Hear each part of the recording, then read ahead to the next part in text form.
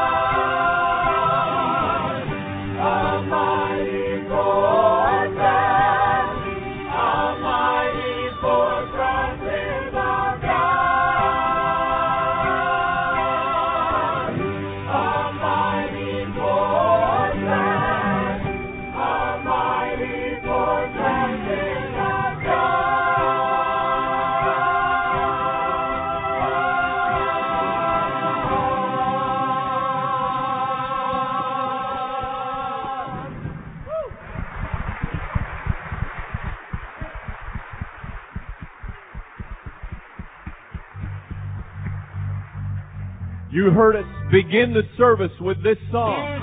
Song that says, Lord, everything I am and everything I have, I give it to you. So we invite you now to sing with us. I think you'll pick it up quickly. Let's sing it. And sing it with all your heart.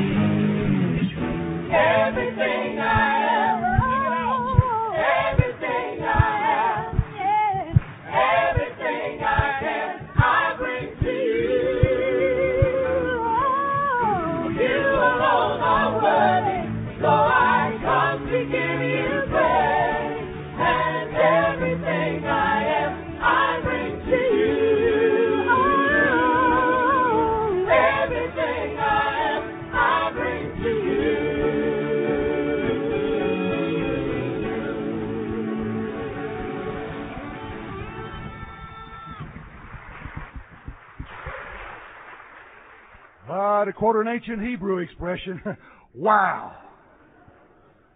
Do you see what happens when we bring to God everything we have? I mean, if what you can do is play an electric guitar, is that worthy of bringing to God?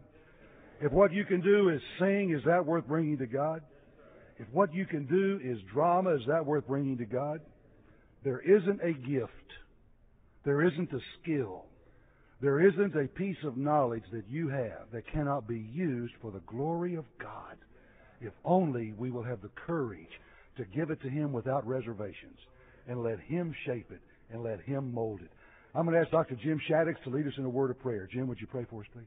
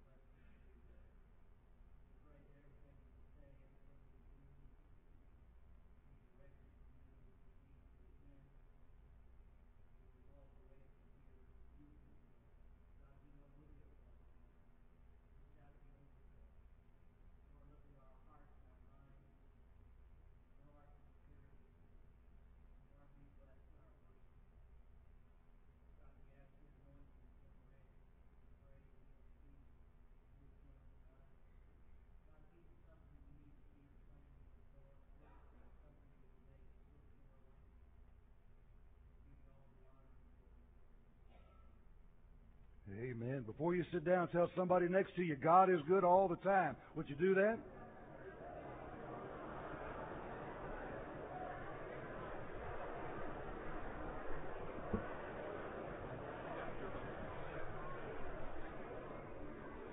Put the mic back there. Okay, thank you so very much. What a wonderful week this has been for us at New Orleans Baptist Theological Seminary, enjoying the church at Brook Hills. This is a congregation that is alive and growing and healthy. Dr. Randy Millwood is helping us identify healthy churches across our country as we are really trying to understand what God is doing in the lives of many churches in a lot of different ways to do church. A lot of ways that we can glorify God, that we can impact the community for Christ, we lost people to Christ. But what we're seeing today is one way. One church is reaching their community for Jesus Christ. I'm going to ask Brother Rick if he'll come up here for a moment. I want to ask you a couple of questions, Rick.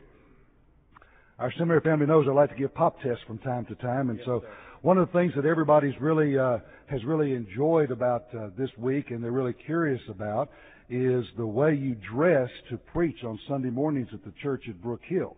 And uh, all of us like dressing casually, but how did you come to do that? Did you just announce to the congregation one day that you were throwing away your suits and were going to dress casual on Sunday? Uh, how did you do that? Well, we started from the beginning with a philosophy that uh, we wanted everyone who would come to be comfortable and uh, to be relaxed in an environment where they would be as free as possible to hear everything that God had to say. I did teach to them that the biblical dress code was to be clothed in humility and righteousness. And other than that, it's optional. Just don't do something that would be distasteful or take uh, a left turn at Scripture. And um, there's folks in our church that wear ties and wear suits. Uh, and then there's folks that, that recognize it's uh, it's not the requirement. So uh, it's it's not something that we that we mandate or make someone feel strange if they prefer to dress up. The idea is for you to be relaxed, to be comfortable, and to be comfortable in bringing friends with you. But I know this: I would never want someone who did not have the fifteen hundred dollar suit to feel uncomfortable because they were sitting next to someone who could buy the best of the best. I just want us to be a, a family, and uh, that's kind of where it started 10 years ago. Okay, you said from the beginning. Was that from the beginning of your ministry at the church, or was that from the beginning of the church? Well, I, I came on board uh, Brook Hills a few months after the church had been incorporated, and one of the things I spent three months praying with the church and sharing with them everything about my heart, my philosophy, my understanding of of uh, church polity and churchmanship. And I addressed this issue with them at that time about uh, are, are are you willing to and, and can we as a body move in these directions? And so um, these are things that we started in September of 1990 from the very beginning. One thing that is very interesting is that church planters have some challenges that people who go to an existing church don't have. It's not nearly as easy as it looks on the outside, but they also have some opportunities that you may not have when you go to an existing church. The opportunity that comes is the ability to walk with a congregation and intentionally create the style of ministry that you're going to have and things like this. Had Rick gone to a church that was an existing church that had been around for a hundred years, who knows what shape the ministry might have taken. What he has done is to take the opportunity that he had there to help a church in its formative stage shape a direction to reach lost people and unchurched people. But we also heard you say that really the dress is a side deal, that you don't do billboards on this is a casual church and we wear tennis shoes around here. Right. It's a side issue, that the main issue is getting people to come who need to hear Jesus Christ so that they could know it. Now, the really burning issue on everybody's mind, and, and my wife just loves the fact that now guys are really struggling with this issue, is how do you know when you're casual enough to be casual, but you're not sloppy or messy? Uh, Rhonda one time was riding behind some guys on a flight who were just going back and forth. Their business had gone to a casual Friday kind of policy, and they were trying to figure out what exactly is casual. So, how do you know when you're dressy enough to stand up there and preach with 4,000 people? Well, my wife Joyce is my helpmate, and um,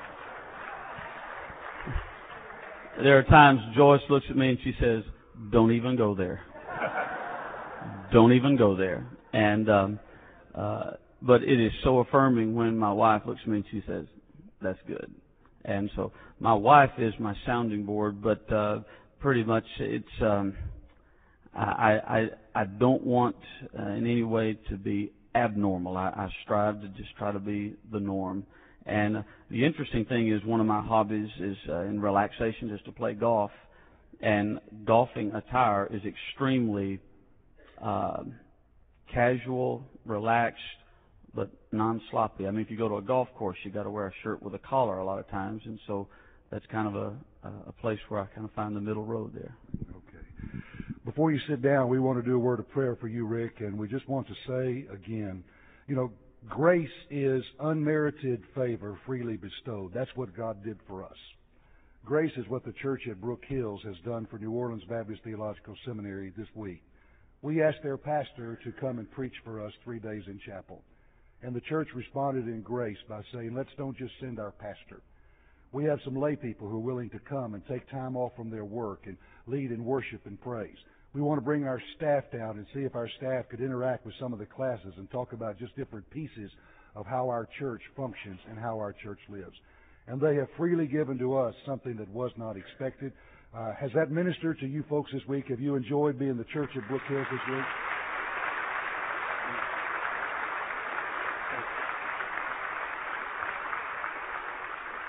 Let's have a word of prayer for Rick and for the, their crew. Father, we thank you so much for this wonderful church, for what they're doing for your kingdom, the lost people they're reaching, the saved people they're discipling, and the world they have on their heart. We thank you, Father, that you stirred them to make this investment in our seminary this week.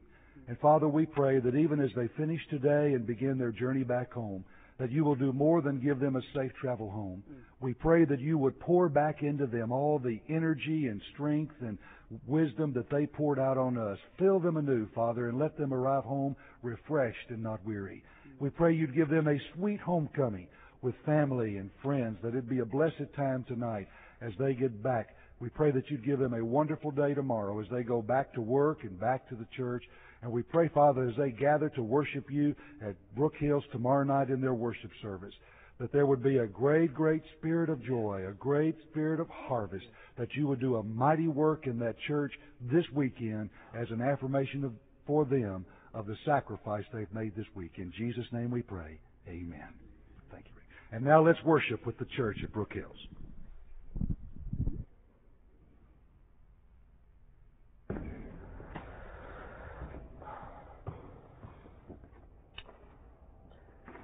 The pool of Bethesda. The pool for those in desperate need of healing. Wait for the angel of the Lord to come and stir the restoring waters.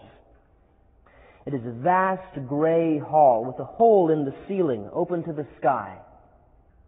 Broad stone steps lead up from the water on its four sides. The pool, continually restless, throws reflections of blue on the ceiling and on the walls. The sick, the blind, the malformed all lie on the steps, waiting.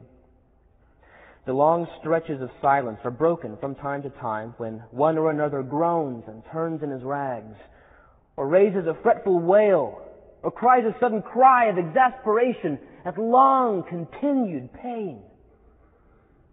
The attendants of the sick play at dice, waiting for the call to fling their masters into the pool when the waters are stirred.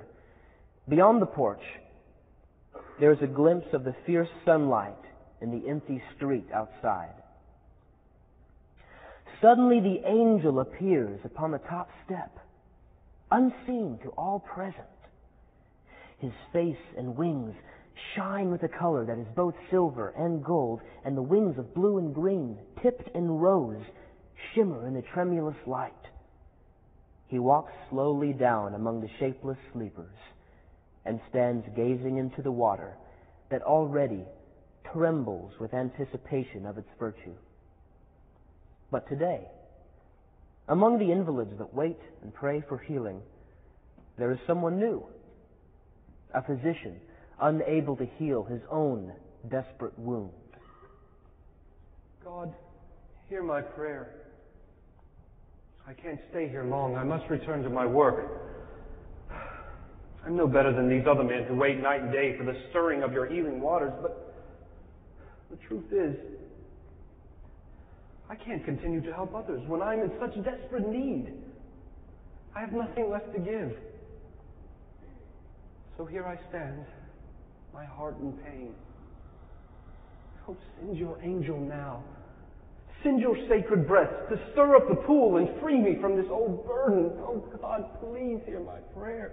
Another invalid suddenly wakes up from a nightmare calling The angel! The angel has come! I'm cured! and flings himself into the pool, splashing his companions.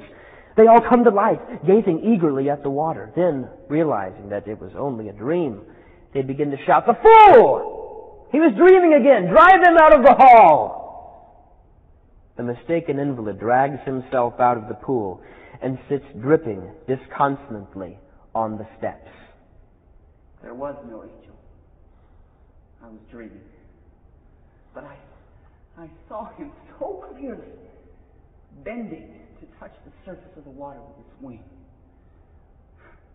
Well, better to be wrong and laughed at than miss an opportunity to be cured and leave this stinking pit behind me forever. The invalid is surprised to see a new face at the pool this day, that of the physician.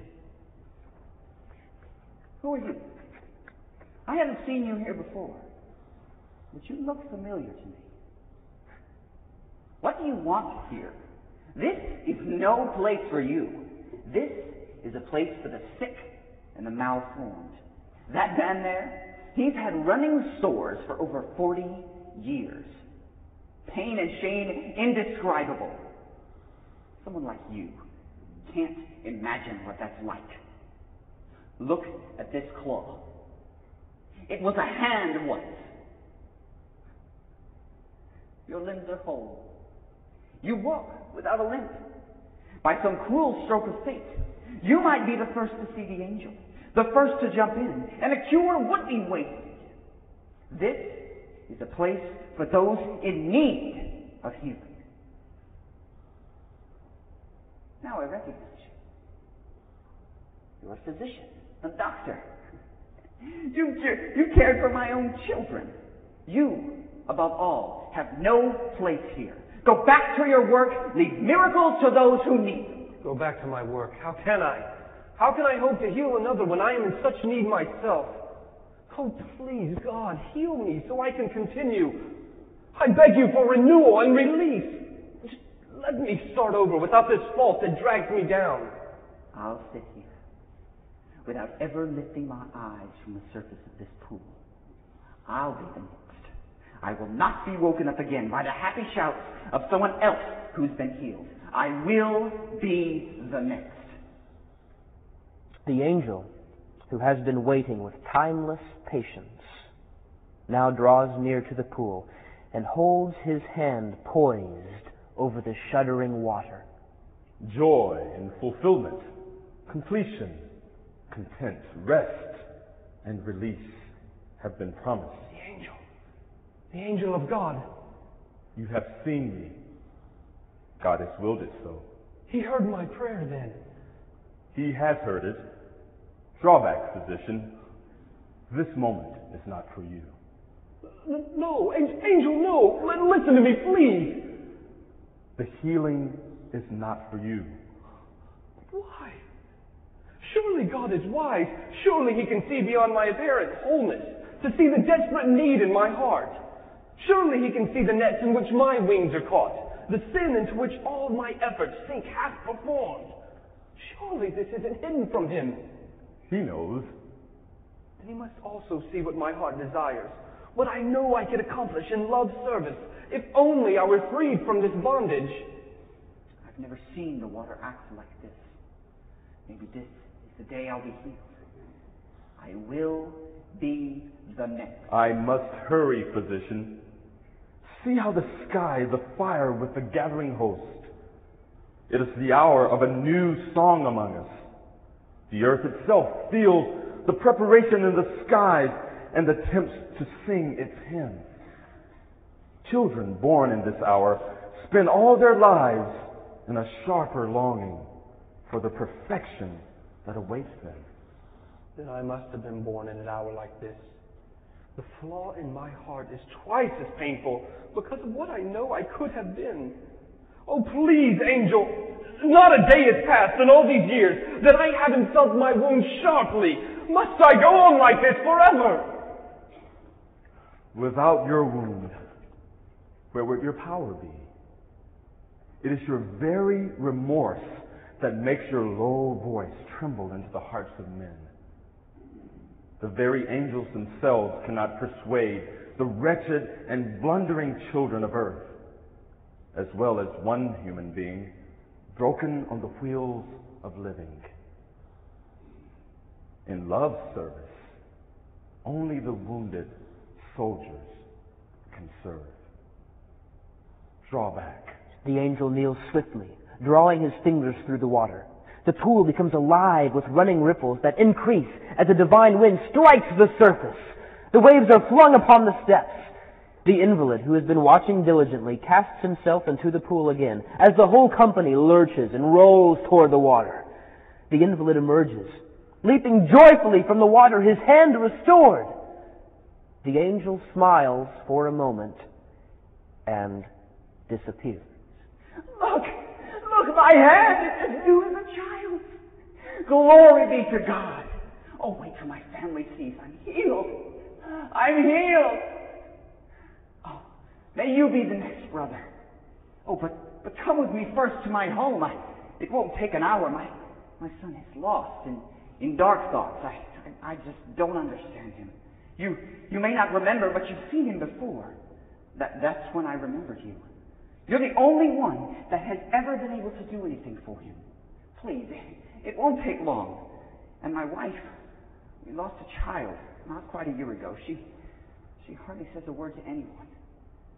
I, I, just know that you can help her. The physician leaves with the man who received the healing he so desperately sought for himself. But he begins to wonder if he didn't receive just what was meant for him after all. As he leaves, he hears the echo of the angel's words In love's service, only wounded soldiers serve.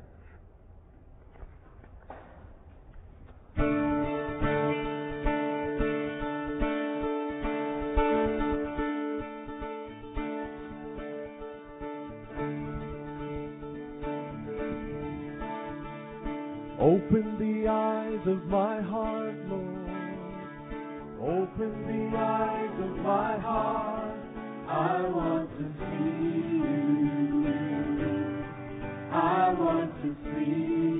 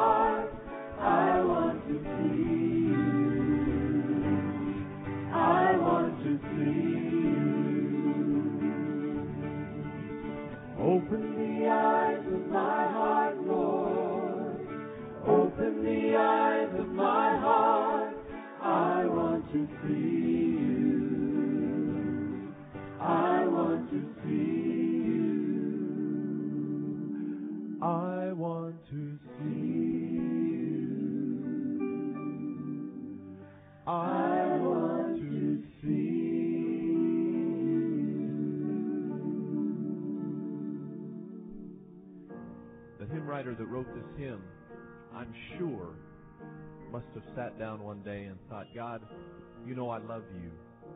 You know I've committed myself to you.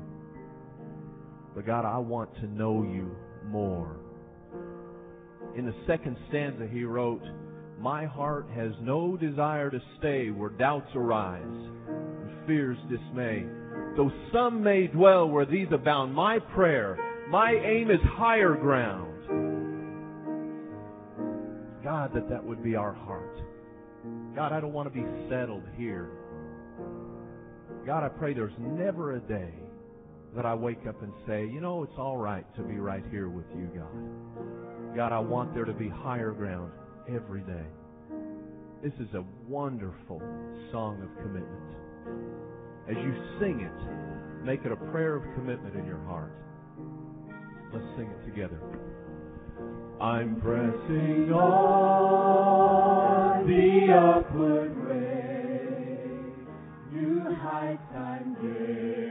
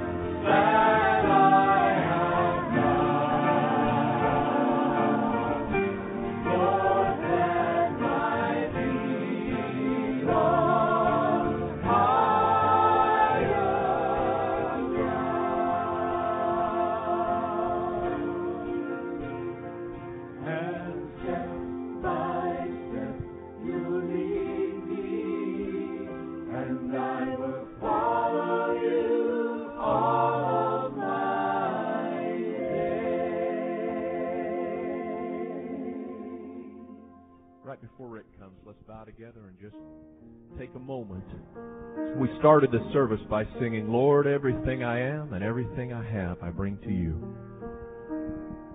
Would you just pray those words to the Father? If you're broken, we saw the physician thought he couldn't do his work because he had broken places. You may be the walking wounded. Well, God's chosen broken things to use.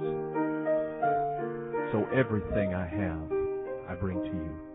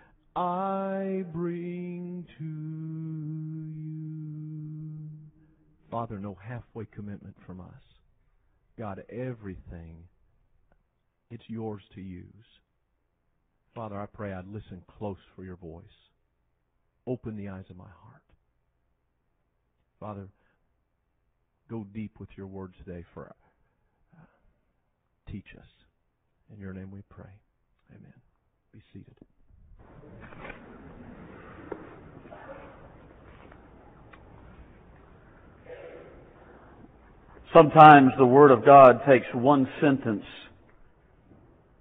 and in one sentence, a statement is so powerful and so profound that it has implications that run throughout the course of our life and our ministries, and it will not let us go. Proverbs chapter 28, verse 13 is such a text for me. I love the wisdom literature because, especially the Proverbs, full of those one sentence sermons. There is a church world out there wishing we would get that clue. But aren't you thankful for commentary? Proverbs 28:13 is a principle of truth that has timely, timeless dimensions. Like so many of the proverb verses, it follows the pattern of giving us a balanced perspective or a wisdom perspective. One of the great words you will add to your ministerial and your daily walk of faith life is the word balance. And Proverbs shows us so many times the negative consequences of an act versus the wise and righteous blessings of its counterpart. And Proverbs 28:13 is such a verse. Sometimes the negative precedes the positive, sometimes it's the positive followed by the negative consequence. Here, the negative comes first. In Proverbs 28:13, the scriptures remind us that he who covers his sin will not prosper. But Thank God for the divine conjunction that settles right at the midpoint, that is the fulcrum of faith right here. But the one who will confess and forsake his sins will find mercy. This very verse is in the spirit of Romans. Reminds us that the wages of sin is death, but the gift of God is eternal life through Jesus Christ our Lord. There is the negative. There is the positive. And you and I have been commissioned to the glorious challenge of telling this world there is good news. Good news. A lot of times when I study a text, I, I ask questions.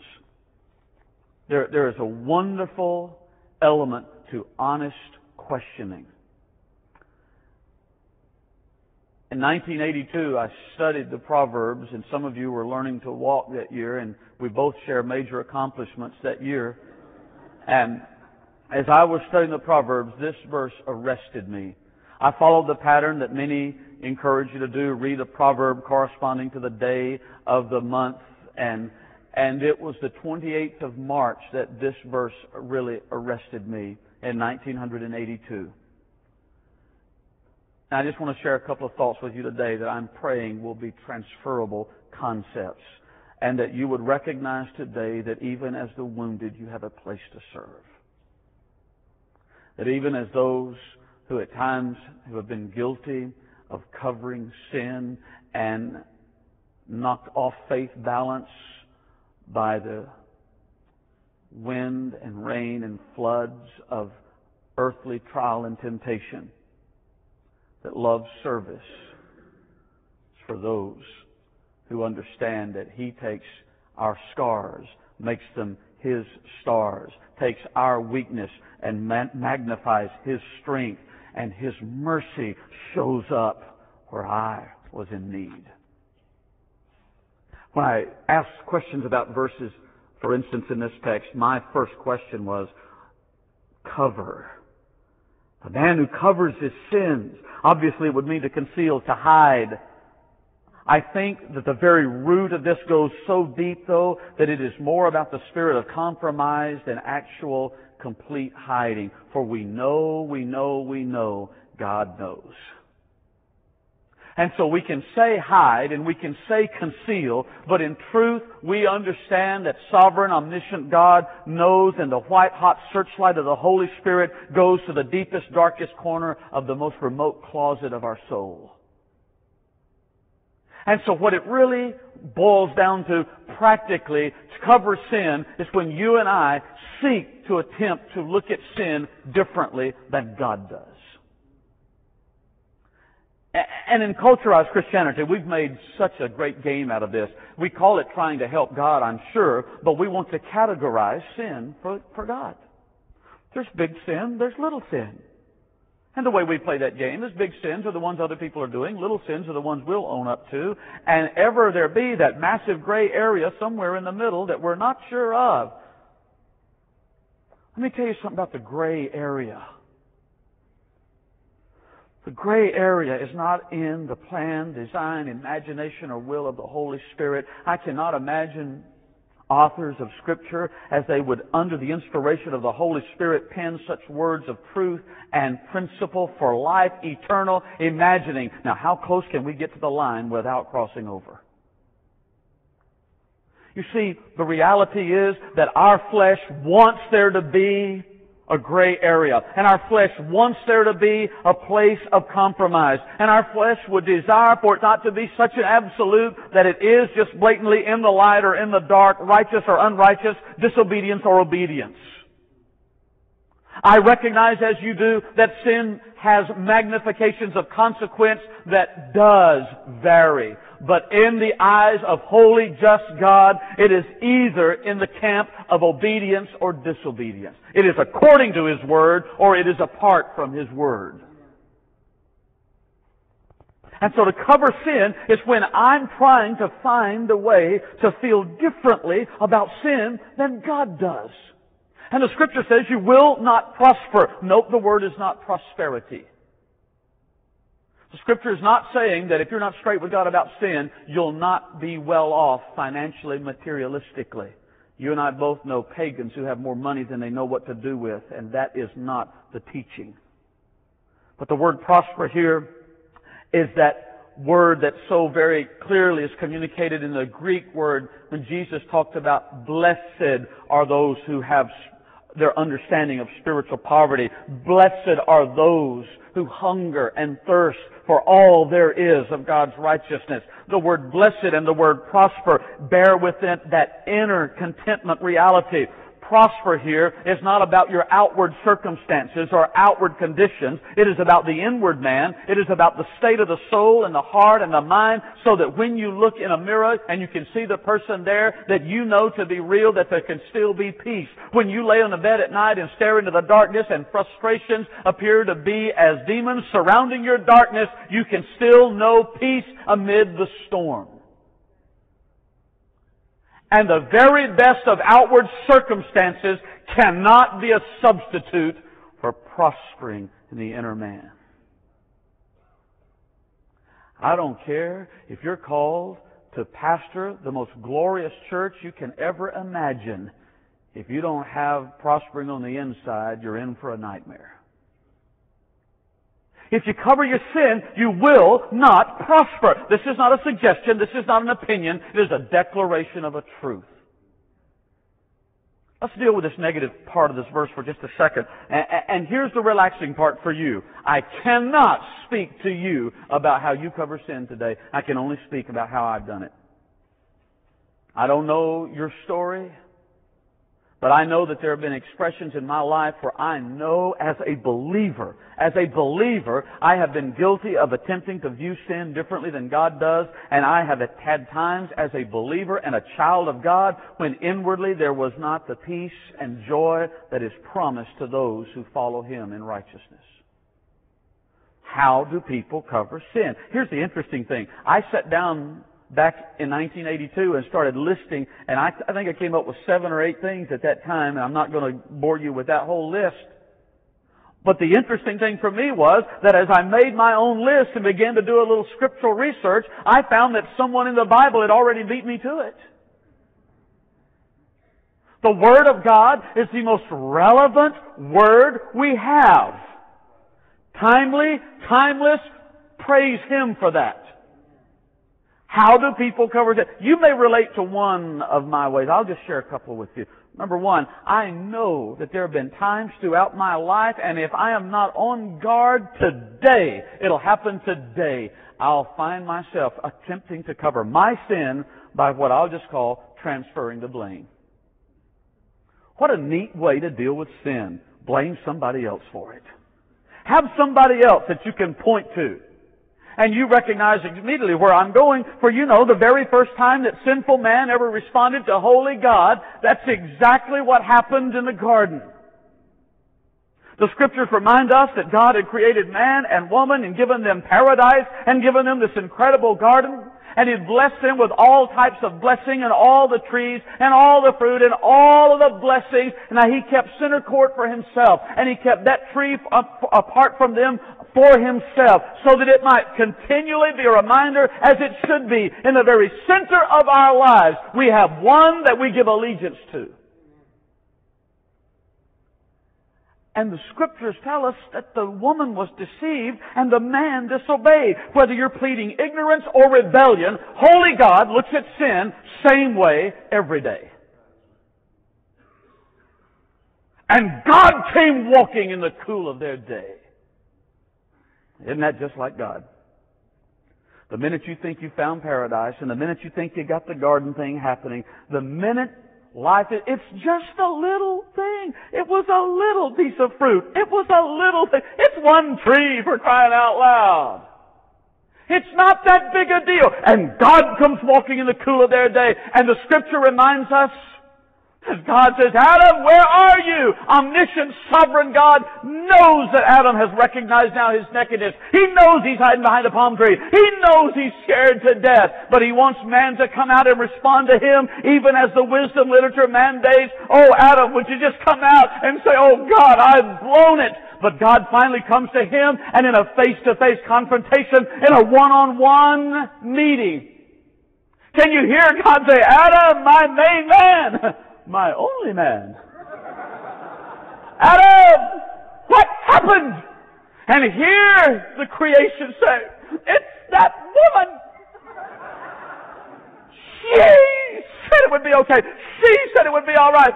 She, she's a wonderful friend, marvelous companion, tremendous helpmate. She makes an outstanding fig lasagna. But she said, and by the way, Lord, you're the one who gave her to me. Sometimes in our attempt to transfer blame, we'll even go so far as say, God, you're the one that called me to that church. God, you're the one that gave me those deacons. God, you're the one that called me into ministry. God, you're the one that gave me that wife. God, you're the one that gave me that husband. You did, you did, she said, he did. And he goes to Sister Eve, sang song, second verse. Eve, what happened? It's that slimy snake. He caused me to doubt you. He made me question you. He made me believe that you were the most gigantic cosmic sadist imaginable, that you were so mean and cruel to deny us the tree at center court, and he said we wouldn't die. He said we'd be like God, and he said, she said, they said, transferring blame. Can you relate to that? There's so many ways we could illustrate that. I just want to say to you one thing. It is not a mark of maturity and wisdom that you can calculate multiple ways to blame your circumstances for why there's sin in your life. We are living in a culture today that almost encourages that. Well, you're the way you are because of your father and your mother and a generation past and a generation before that. I want you to understand that I recognize, even as you do, the implications and the impact, the consequences of unrighteousness in home relationships and the problems that they bear. But make no mistake about it, when you stand before the living God one day, you will not be asked to give an account of daddy. And somewhere in your faith journey, soldier of the cross, you and I must grow up to have the personal integrity that says, Lord God, I will not I will not stoop so low and be so weak as to blame my circumstances, the people in my life, or the issues surrounding me. I will take responsibility and be accountable for my trust, my faith, my walk, my obedience unto you, Lord God, King of my life. Second way we cover sin sometimes. I just call it playing the game. In the good old Bible Belt, it's awful easy to play the game. You can learn the language and speak Christianese and Baptistese with ease. And the truth of the matter is that if we're not careful, we will raise yet another generation of believers who know better how to be a Baptist and how to be a disciple. And they can spit out an order of worship and never tasted the fragrance and the aroma of an encounter with God. If we're not careful, we can be so very clever in our church programming, our church growth, and our church this, and our church that, and we allow that to become our righteousness. And what happens is we can have the most heinous of sin in our life, but we still know how to pray and we know the words to say and we can tell the Bible stories, we can teach them, we can preach them, we can lead others to them. All the while we do not prosper. Let me tell you what I think is the most miserable existence imaginable. That would be to be a servant of the Most High God, a redeemed, born again, blood bought child of God that He wants to use to share Himself with the world and all the time living in misery of sin on the inside and you're just mouthing the truth and speaking the truth and God will use the truth because as yesterday, it's not the man, it's the message. It's not the woman, it's the message but to be so miserable because all along you're playing a game. 1 Samuel chapter 15 gives us a clear illustration of that. Saul is king. He's given a mandate to utterly destroy, is the biblical quote, that people that has warred against the people of God for so long, the Amalekites. Utterly destroy men, women, children, sheepies, goaties, donkeys, everything. And somebody wants to take a passage like that, and the first thing we want to do, rather than really see some of the character issues that are involved, we want to say, why would God want that done? And I'm going to give you the answer. You ready? I don't know. It's not my business to understand God. It is my business, my responsibility to obey God. And I am learning, I'm slow, but after three decades of trying now, I am learning that the more I obey Him, the more He reveals Himself to me. And makes Himself known and His ways known as I am trusting and obedient to His Word that is known. And you know the story, I hope. If you don't, you'll, you'll get it somewhere here. But the story is that he was instructed to annihilate and he changed the orders that God had given and he spared the life of the king Agag. I find that to be the most revolting name that I've personally ever heard. And I don't know why Saul chose to do this. Maybe it's because they were peers. Maybe they'd been to a king's conference together. I don't know. But he spared the life of King Agag. He disobeyed God. He stepped out of the will of God. This is called sin. And then after the men and the people had been destroyed, the army of Israel and Saul together make a corporate decision. Let's don't waste those good, healthy animals. God said to destroy them, but let's take the healthy ones back home to mama. That's better stewardship, isn't it? And God came walking in the cool of his day. Sometimes God comes himself and he'll have a one-on-one with you. Sometimes God will send a prophet. And Samuel comes to find Saul to deal with him, and Saul sees Samuel coming from a distance. And can you get this picture? Do you understand what's happening right now? Saul knows what's going down. Just like you know when you were busted by your parents or a teacher or a coach and you see them walking and they have that look on their face, judgment cometh now and you haven't heard the questions, but you're already concocting answers. And before the prophet can say a word, Saul does what you and I tend to do when we've been caught. Play church. Talk the church verbiage. Speak religiously. Oh, prophet of God, I'm so glad you're here. Translation, preacher, come on in and have some fried chicken. prophet of God, I have obeyed all the commandments that you have instructed me that the Lord, I've obeyed all the commandments of the Lord God. That's what he said. I've obeyed all the commandments of the Lord God. Now that's some good talk to a preacher. You go and talk to a prophet. Yeah, I'm writing the will of God, bud. I've kept all the commandments, quiet time every day. I'm spending time with God, walking in faith, sharing Jesus every day. I'm keeping all the commandments of God. Samuel stops because you see, a prophet listens to God as much and at times much more so than his audience. And he says, Well, what's that bleating of sheep that I hear? And what's that, whatever it is that oxen do that I hear? There's a barnyard rhetoric right now that speaks something is amiss. Now Saul really has to cover that sin. He really has to make sure, oh, oh, oh, and I can see wheels turning in his kingly mind because now the answer has to be in a religious connotation. And he says, uh, we were going to offer all of those animals, thousands of them, as a sacrifice unto God. Yes, sir, preacher, it's going to be the greatest praise and worship service we've ever had. You kind of stepped in and spoiled the surprise, but you need to know we were going to do it all to the glory of God. And Samuel says it is better to obey God than sacrifice. It is better to be blatantly, lovingly obedient to this word than to play church and go through the ritual and the routine of religious ruttage. There are sometimes that we get so deep in the ruts of religious ritual that the only possible horizon we have is the edge of a rut. There's more, bless God. And we have become a people who inflict ourselves because we had rather than deal with God openly and honestly about our sin, we cloak it and we cover it and we compromise it and we'll even justify, God, I'm serving you. That gives me an exemption clause. Oh, you think Jesus died for you and me? You think Jesus died for you and me more than somebody else? You think there's some degree of righteousness given out? You think there's some degree of mercy? Please understand. We can play the game, but we will not prosper. Some of you are dealing with that right now. Finally,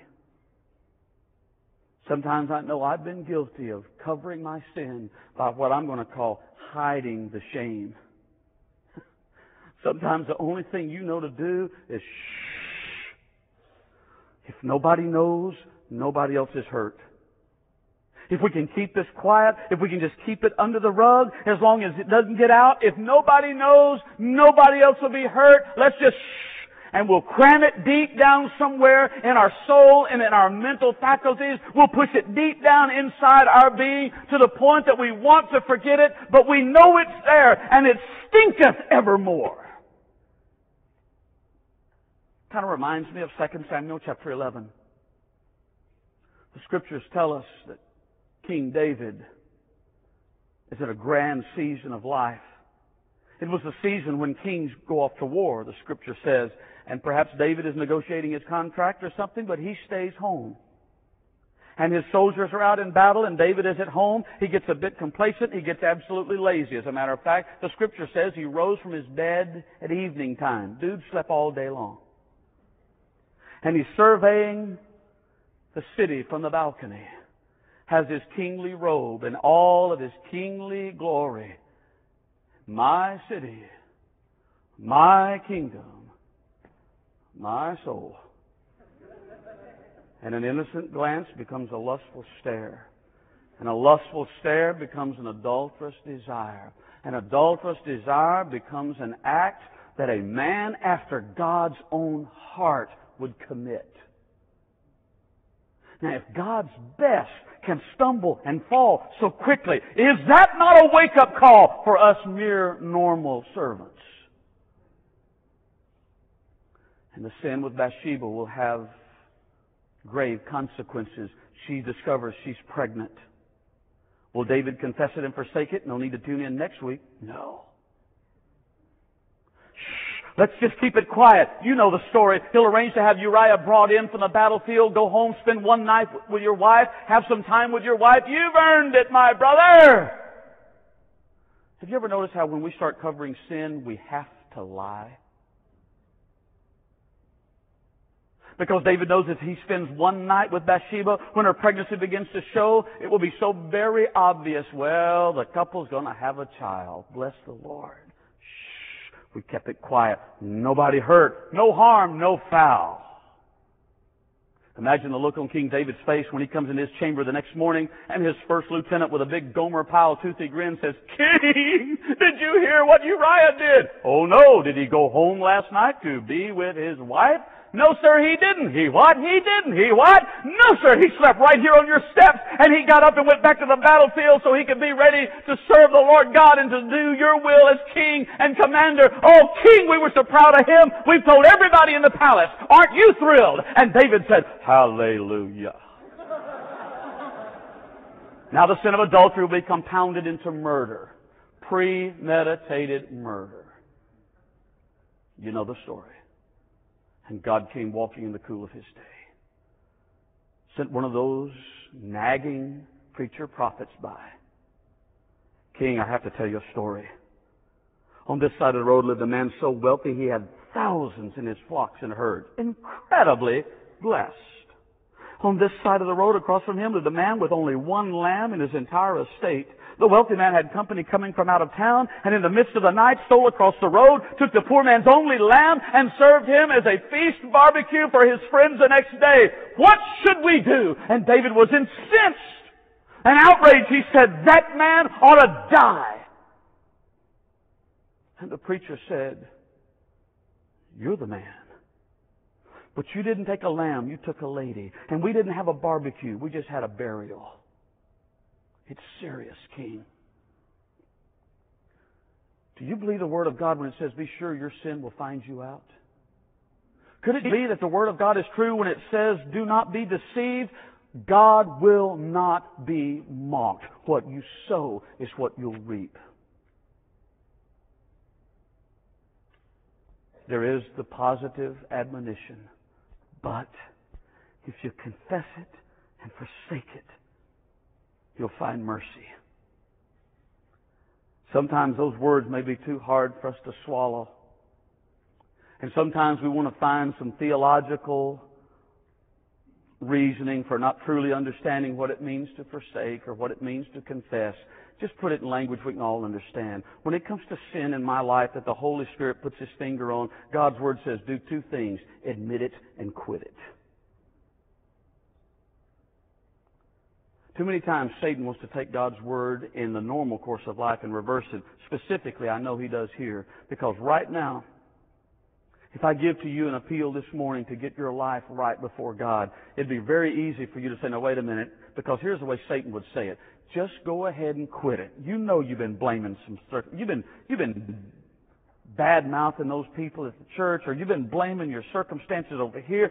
Gotcha.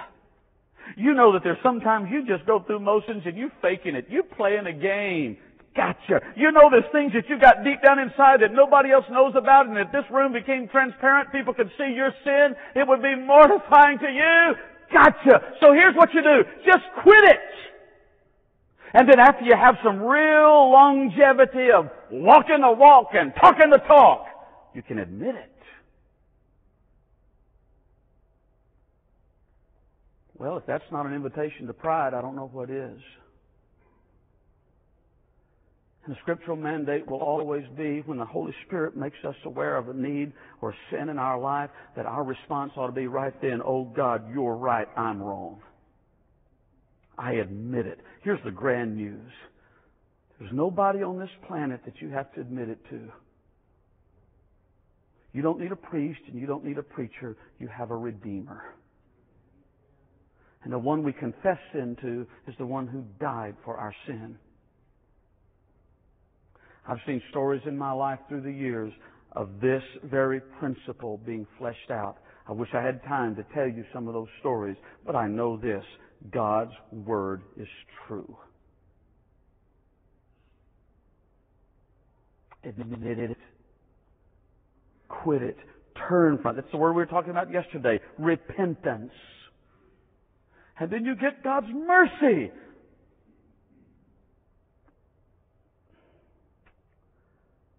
My prayer for the New Orleans Baptist Theological Seminary is that you would go into this world, scars and all, wounds and all, but go as wounded soldiers who have been touched by the mercy of God. And sometimes the scars don't go away, but God uses those scarred in ways that only a living, redeeming God could use. Don't count God out of using you, wounded soldier. Love service calls you. Mercy calls you. Let's bow our head.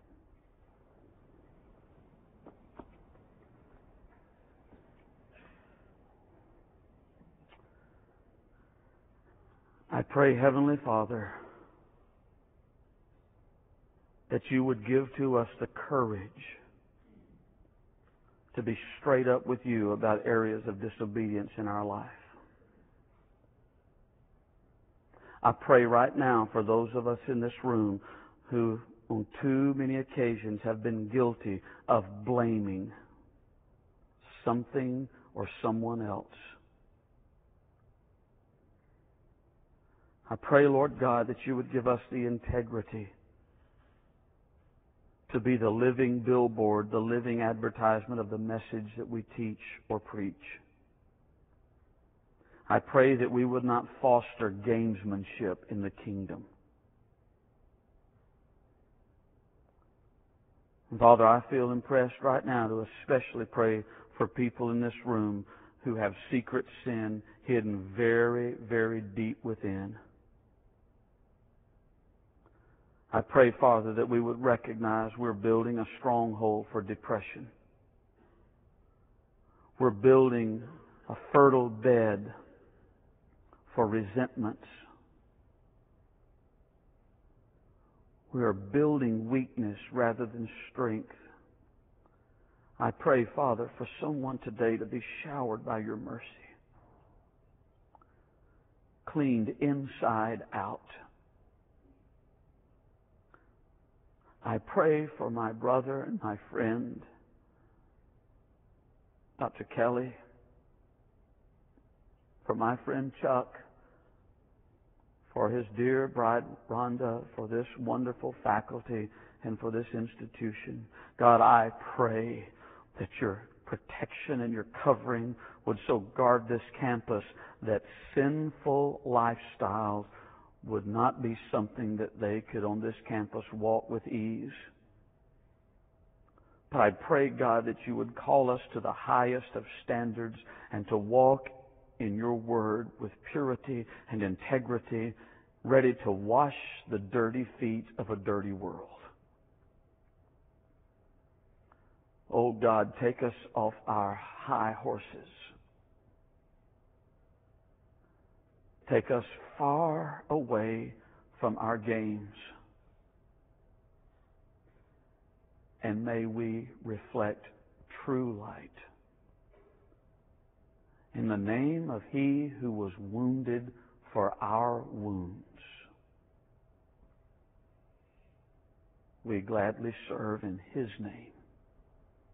And we all say, Amen. Thank you for the privilege to be with you. God bless you.